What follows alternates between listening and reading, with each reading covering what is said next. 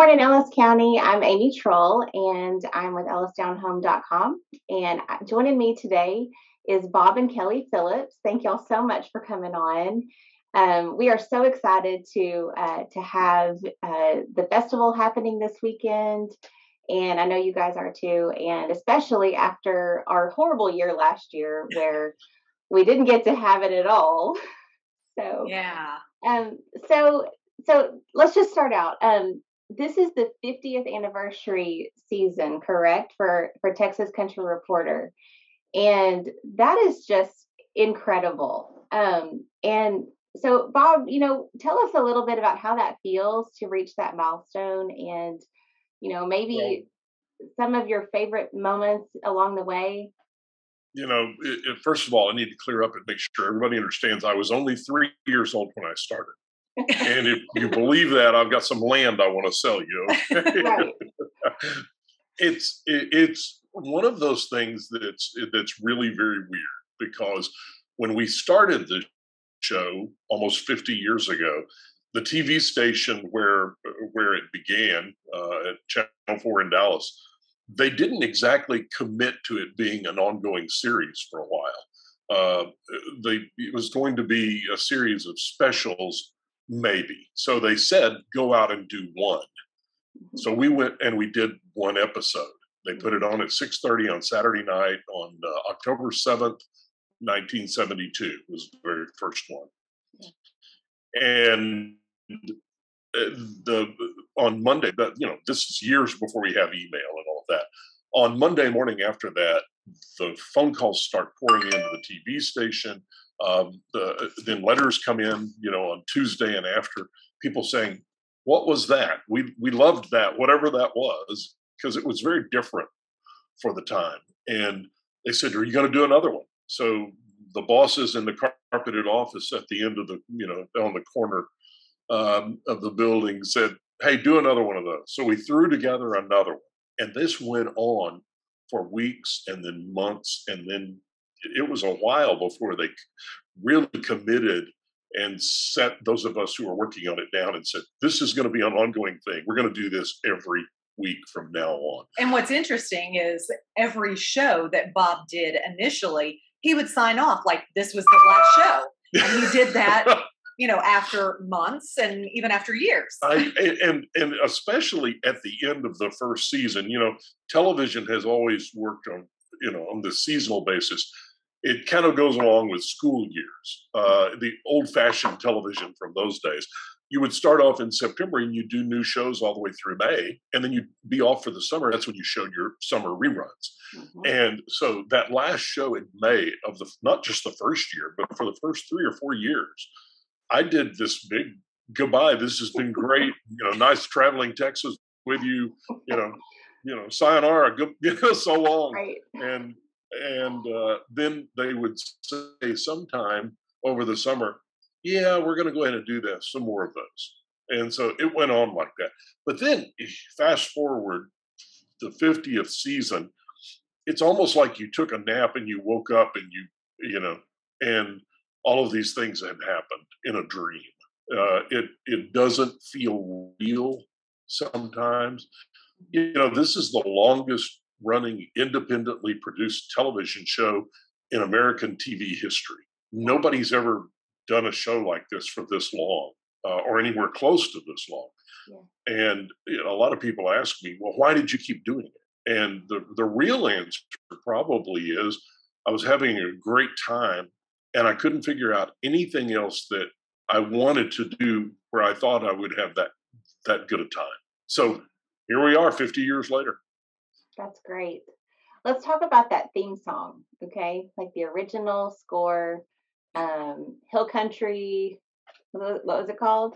The Hill, Hill Country, Country, theme. Hill Country yep. theme. Yes. Yep. So, how was that something that the network cho- or the station chose, or not exactly? It was it was quite by accident, as a lot of things in the early in the early years of this work. Yeah. Um, we we kind of divided up duties. You know, so and so you do this, and so and so you do this, and so and so will edit this part. And it was just a group of us that were putting that very first show together. Um, and there was a, a guy who worked in the promotions department at Channel 4, and he was really talented. And he had put together a promo.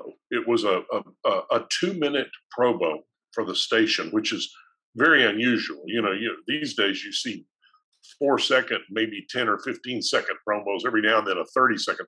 This was a two minute promo.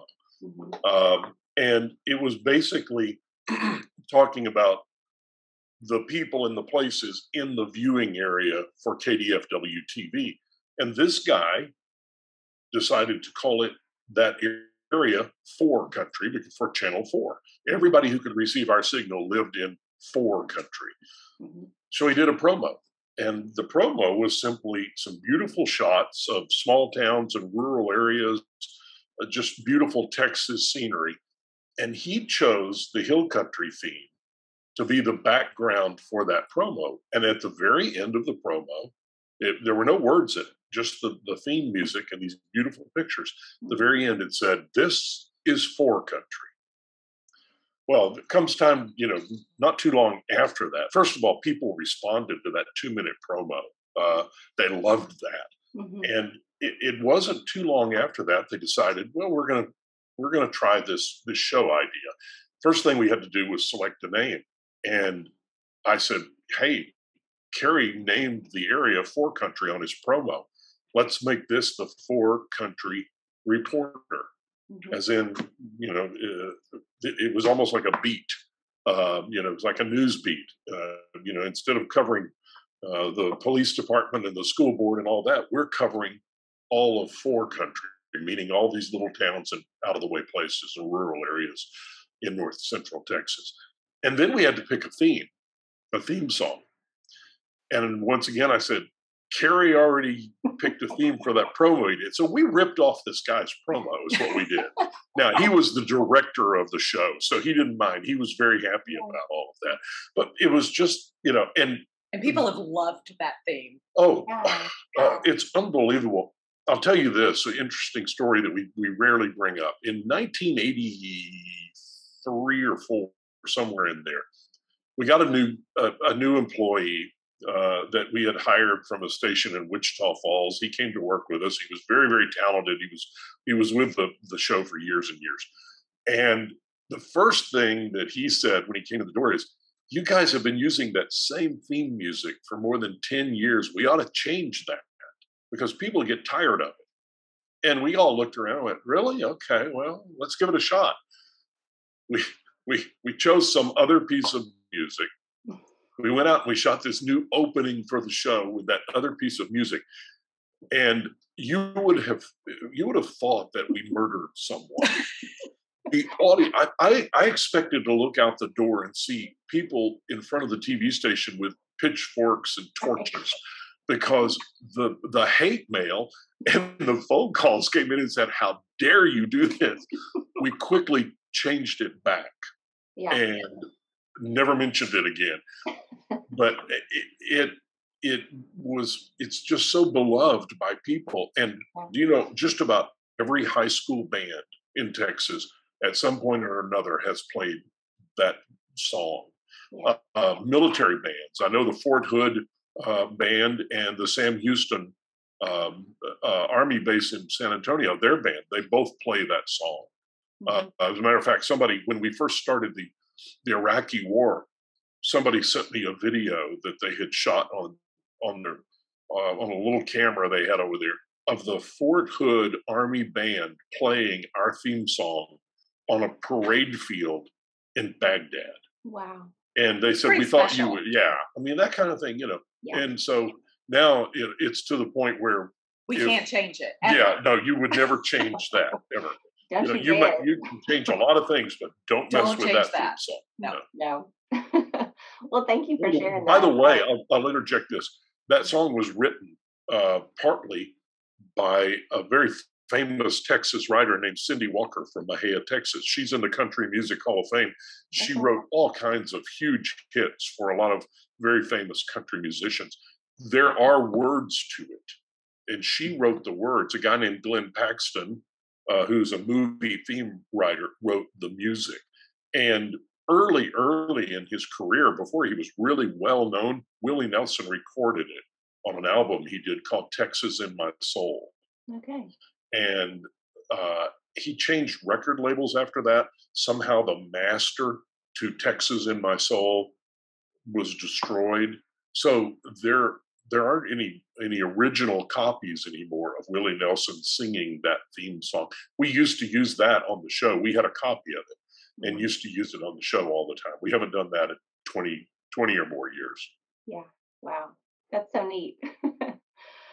so so this festival coming up this weekend, um, also celebrating a 25th anniversary for the festivals, correct? Correct. Yeah. And okay. the 20th for it being in Waxahachie. Okay. So yeah, this is number 20 for Waxahachie. Wow, that I didn't realize it had been that long. That's that's incredible. So yeah. so tell us, you know, where was it before Waxahachie and then why did you guys choose Waxahachie? Um, we we did it in Dallas at a at a uh, an historical park called Old City Park in downtown Dallas mm-hmm. uh, for the first few years, and it wasn't supposed to be a festival in the beginning. Uh, we called it the we called it the Texas Country Reporter Reunion. The mm-hmm. idea was that we, the people who work on the show, were getting together with people who had been featured on the show. Okay. And we were just having kind of a like it was a family reunion at this park. Mm-hmm. Well, we mentioned it on the show that we were doing this, and we look up and there's four thousand people that uh, that just watched the show who showed up. That was the very first year, and every year, you know, a couple more thousand people, mm-hmm. and then it, you know, we're we're getting up around seven, eight thousand people that are showing up, on, you know, once a year for this this Texas Country Reporter reunion. And we kind of looked up and said, guys, if this thing gets, we're already, we've outgrown this park. We got to do something. And I used to live in Waxahachie uh, back in in uh, around 1980. I lived there for five years, okay. and um, one of our one of our original guys, Jason Anderson, who went to Waxahachie High School. He drum was major, drum major yeah. Uh, you know, he's a he he was a hometown boy who was who was born and raised there. Um, he was working with us, and I said, "What are we going to do?" And he goes, "You know, what we ought to do is we ought to move it to Waxahachie." Uh, and I'm sure these people would, you know, would just really love this idea. He was just so positive, and we went, we drove down um, to take a to see where would we do this.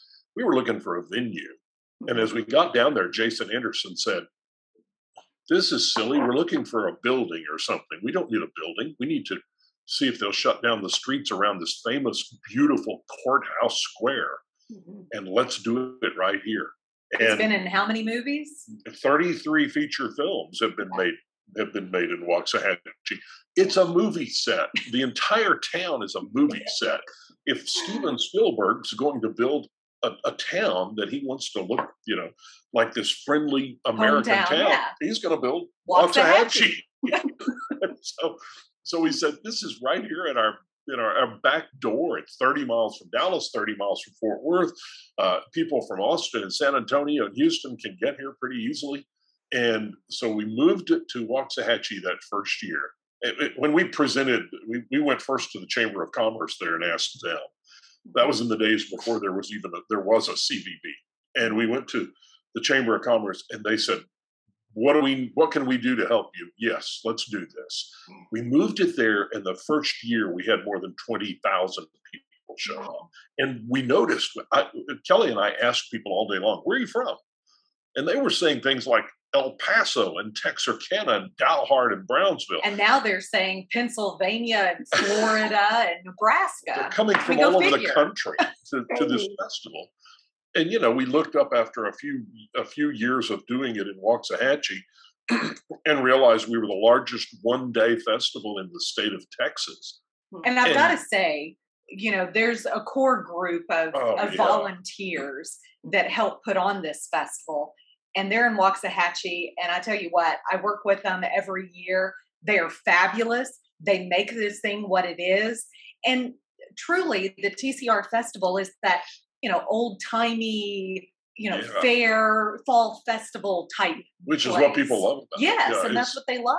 Yeah, and this group is a volunteer group. Nobody, ever, nobody's ever made a dime off of this festival except for the vendors. You know, which is, is you know, that's intended. And and you know, we don't make any money. Waxahachie doesn't make any money. We don't charge an entrance fee. There's Yeah. you know, parking It's- is free. Everything's free other than what you purchase at the festival. But the the thing that we all get back there is Waxahachie is, you know, it's always been beloved by by people who knew the town. Well, now people from all over the place know Waxahachie. And, And there are a lot of love it. people that, you know, watch the show, they hear about Waxahachie, they come to the festival, and they end up moving to Waxahachie. We, we know several that have moved to Waxahachie. There was one lady who who called your CVB in Waxahachie and said, "I want to know more about it. I live I live in Florida, and I heard about this town on Texas Country Reporter, and I saw that festival you do there. I'm looking for a place to move." And she moved to Waxahachie from Florida. That's I mean, incredible. That speaks volumes Yeah. about the town and the Yeah, people the people, yeah. of Waxahachie. Well, I grew up there, so we have we have deep, deep roots in Ellis County, and um, and so and for so many years, you know, you just you grow up where you grow up, and you don't think about it, and um, but now being an adult and working and and being able to see so many people moving in and enjoying it and choosing Waxahachie, it's so special, and it is really it's really meaningful, and I'm so proud of my hometown and. Well, and having a family there too. Yeah. I mean, you were raised there, and now you've raised your family there. Yeah it's very And if special. you, were, if you were to move away, Ami, I promise you the day would come you'd, you'd be You'd want to go dying back. to move Yeah. back. Yeah. It's one of those places that Yeah. if you don't realize how wonderful it is while you're there and you go away from it, You will. you'll soon realize and you'll be saying, I've got to go home. Yeah. It's just that kind of place. Yeah, yeah. Well, so let's talk about this weekend specifically. Yes. So twentieth twentieth year in Waxahachie. Um, you know, the it's the year after COVID, so we're all celebrating that we can actually do things Get out. and have some fun. And so, what are some of the things that are planned for this weekend specifically? Well, what's interesting about this year is, you know, we had to miss last year because, like you said, of COVID. And this year, we had the response has been overwhelming. We had to increase the number of booth spaces that we have in Waxahachie. We've expanded this thing to not one stage, but two stages. Yeah, We've got 300 plus vendors. Where We've we got usually two- have 200 vendors. We've so got two food courts. wow. Um, I mean, it's huge. You can have, you can come to this festival. You can have anything from, you know, uh, grilled cheese sandwich to lobster rolls from Cousins Cousins Maine Lobster uh, to Big Doobies, which is a, a Cajun flair food truck. Don't forget Thomas Tafuro, the Thomas New York cop who makes hot dogs out of his hot New York hot dog stand. We've got pies out the wazoo. We've got Judy pie. We've got cakes by Birdie. Uh, Three Brothers Three Bakery Brothers. out of Houston. Slaton Bakery, the uh, Uncle Ray's peanut brittle. Uh, uh, the food is So incredible. we're we're just gonna eat all day. Yes. You know what? I, I'm going to tell you something. The food at this festival rivals the food at, At the state fair. fair. Uh, we've got more variety Mhm. Yeah, at this festival than you're going to find even at that huge. Well, a couple of years ago, we decided, you know, instead of just having booths of food, we would invite food trucks Mhm. to submit applications, and then a committee would go through and pick out the best food trucks in the state. And that's what we have at the TCR festival. So we're, we're we've got what 25 or more food trucks, Food trucks. uh, plus all of these people who've been featured on the show who come. And then we've got vendors. This is a great place to do your Christmas shopping. Oh, Everything is Oh, yeah. handmade. It's one of a kind. You can't find it. You know, you can shop on Etsy all day long, but why not go and visit these people Talk And- to them. and find out exactly what you want to get? You know, your best friend, your spouse, your your kids, because this is a great place to do it. I wish I had more time to go around to all the booths and do my Christmas shopping. and you can buy something for me. I could. Yeah, still think about it. yeah. So it's really cool, like, you know, if for people that obviously live in Ellis County or, you know, been through Waxahachie, they kind of know the layout of downtown. But for those that maybe don't, it is really interesting how we have our rail yard park now, which is on the kind of southernmost end of downtown. Right. And then, you know, several blocks, you know, of, you know, walking to get to the square. And Mhm. so that kind of gives you an idea of how how far, you know, Big how, and how many- massive this is. how many booths and how many We're covering all of the downtown area this year. And I So- want to say something about that stage down at Rail Yard Park. You know, every year we get people from Ellis County saying, hey, why can't we be on the main stage? And the main stage has been limited to people who have been featured on the show. Well, now that we've got a second stage, there was a competition for just Ellis County residents to apply So that's who's performing. on the stage. And it's called the Grown Local Stage. These are all local bands and and, uh, and musicians, dance troops and Yeah, musicians. dance troops, yeah, all of that kind of thing. So it's all local talent on the Mhm. grown local stage on the southern end, and then people who've been featured on the show over the years. By the way, the the people that we call our house band, it's it's a group of guys out of Amarillo called the Prairie Dogs. They started a garage band when they were all in high school in Amarillo eons ago. They're still together, all of these. This is their 25th appearance They've at been this at every festival. festival. Every one of them since that very first one. So that's why they're the house band. And then we have several others who've been there. Brian Hauser's been to almost every one of them. Um, and, and so these people are on stage all day long. And at the end of the day, of course, a free concert by our headliner, uh, Little Texas. You know, be doing "God Bless Texas" and Yeah. and and all of those great songs that that they did. Uh, so you know, once again, it's all free. You know, just come out and enjoy And it. we've got a kids area, so I mean, if the kids get antsy, I mean, this is all outside. And then on top of it, this year we've got our first ever dog walk, which will benefit the Hank and Eli Fund. And the Hank and, Hank and Eli Fund is a story that we did, and it's basically veterinarians across Texas and even across the country that help service members who have had dogs, service dogs, who may have had cancer and they can't afford the care for their dog. But without that dog, they'd suffer PTSD even worse than what they had. So this is a great way to give back to that organization, to our military who's done so much for us. And that's at eight o'clock. eight o'clock. Yeah, down at Getzendaner Park. You know, they'll and they'll take the the walking biking trail Mhm. all the way up to the to- Rail Yard Park. Yeah, and you know that's to raise money for for this charity. Uh, You're this is- invited to bring your dogs. Oh, I yeah, mean, and bring to the the kids in festival. strollers and Yeah, yeah. So it's a you know, and that's one of the things I like about the festival too is that you see all kinds of people, all ages, from all over the. World. It's just it's just a great gathering of people. and I've also got to mention. I mean, I know I keep mentioning other things, There's but more and more and more. there's more and more. But we've got this incredible car show. Yeah, that car show, uh, you know, that, I've, gosh, they've been coming for almost 20 years to, to Waxahachie for this car show. And they have a Uh, competition. mhm. And you'll People see, can come and register that morning. you'll, you'll see, you'll see some of the most beautiful old, mm-hmm. some of the old muscle cars and that sort of thing. Then there's a guy who's been coming to every festival. He brings the Dallas. Bill Holcomb, he brings the Model the Model A club out there. So there's something for everybody at mm-hmm. this. And then, you know, besides, you know, we mentioned our food court. The, the the food, not just around the square, but all over that that part of Waxahachie, and even you know out on the northern end and everything. There's such great food there that you know every restaurant pretty much fill, fills up on the day before and the day of the festival, and we love seeing that. Uh, you know, We've been told it's the largest one day. it's the largest. uh, Yeah, some people have said that this is the the biggest revenue day all year long for all the vendors in Waxahachie. Waxahachie. And we love that because we love the vendors That's there. the idea. The, You know, all the businesses. yeah, the, you know, They're huge supporters of the festival too. absolutely, always have been. Yeah.